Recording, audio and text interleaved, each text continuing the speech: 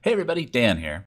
In this video, we're going to dig deep into some of the more advanced things you could do inside of the Layers module. I selected these three photos because I want to create a composite. I want to take bits and pieces of all three to combine them together. And Layers is the place to do that. That's the main reason you're going to go to Layers is to combine multiple photos. So what I've done is I've selected the three photos that I'm interested in, and I'm going to click on the Layers module. Be sure you select the Add as a Layers option. This will stack the three different photos together into one multi-layered photo. Now in this case, my three photos were all raw photos, and I'd used the Develop module to do some adjustments to all three. I'd removed some dust, and I adjusted my highlights and shadows and such.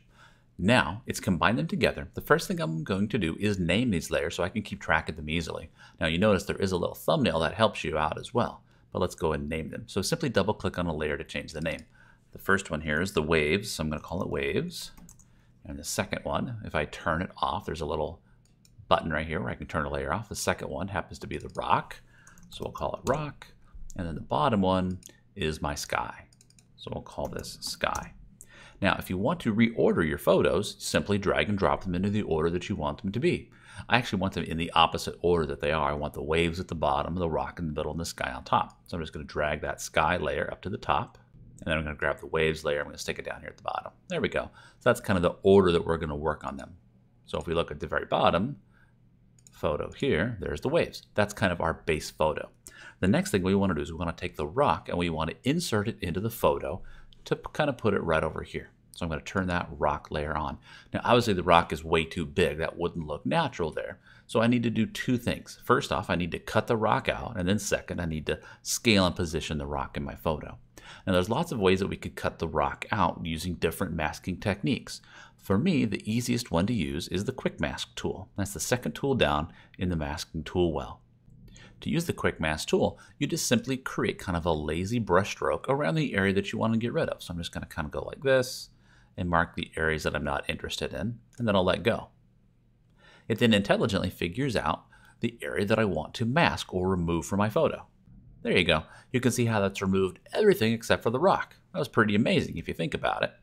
Now I'm going to use the Move tool. The Move tool is what we use to size and position our layers.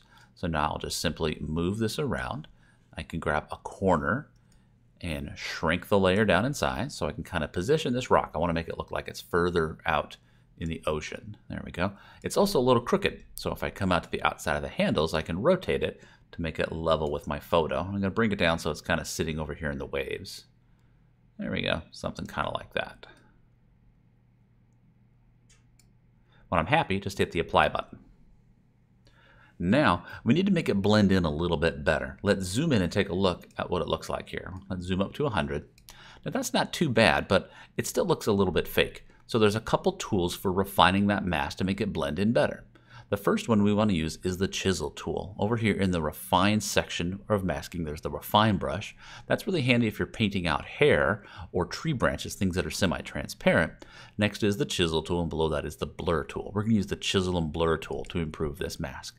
I'm going to use the chisel tool, and it's going to take off just a pixel or so just along the edge.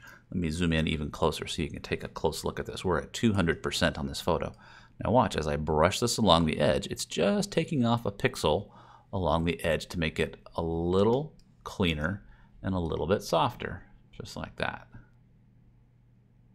Now the blur tool could be useful along here as well. If I select the blur tool and I run the blur tool along it, it's going to blur it. Now that's a little too much blur, so let's go to our amount. I'm going to bring that down to about a 2 or a 3.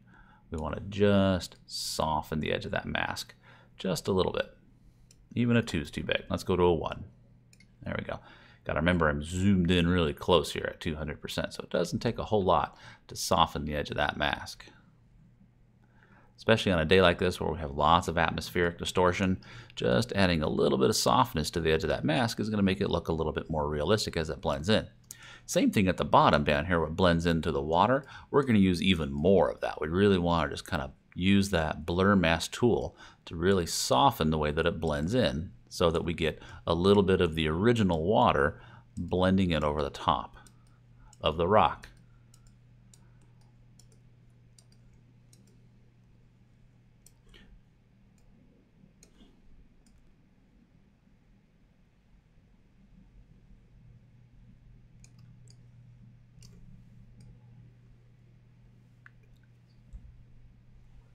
There we go.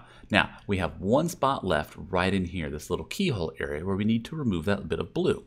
I'm going to use the masking brush to do that, and we'll turn on the perfect brush option. The perfect brush is really cool. It samples the color underneath the center of the brush, in this case, the blue of the sky. And now I can simply brush right through here, and it will remove the blue without painting out any of the rock. It's a really handy tool. Now we'll repeat what we did. We'll use our chisel tool just to widen that out a little bit and we'll use the blur tool just to blur it just a little bit.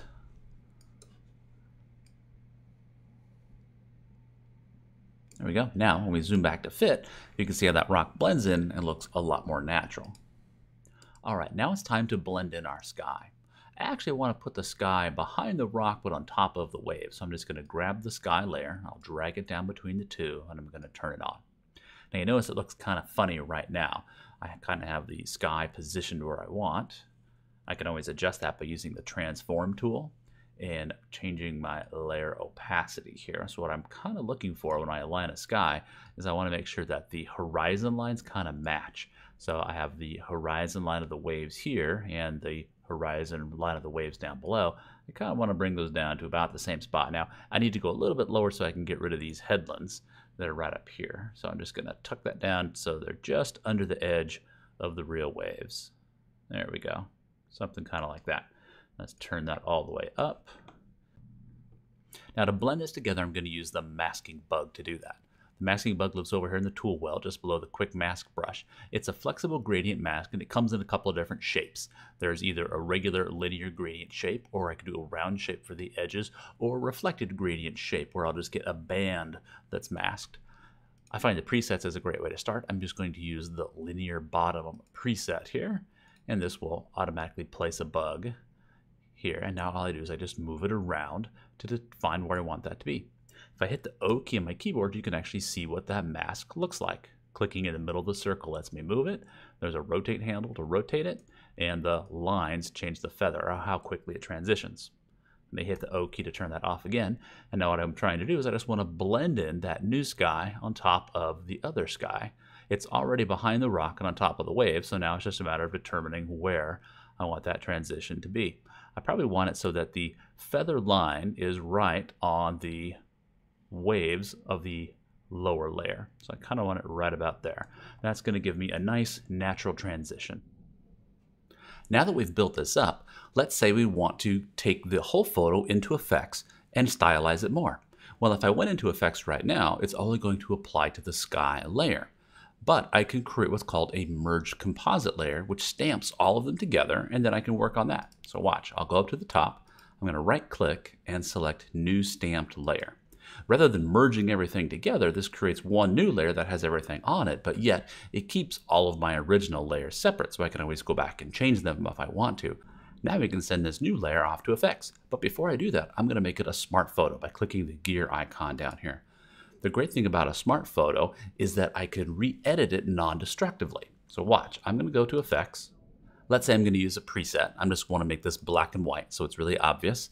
And I'm going to use the automatic black and white preset. There we go. I'll hit the Done button. Now, back in Layers, you'll see the black and white results apply to that smart photo or that smart layer, and you'll see effects hanging off the bottom of it. Any module that you use will appear off the bottom. I can turn that on or off just by turning the eyeball. I can see the before and the after, and if I double click on it, I can go back and re-edit the photo. All of the slider positions and all the filters are in my stack are right where I left off.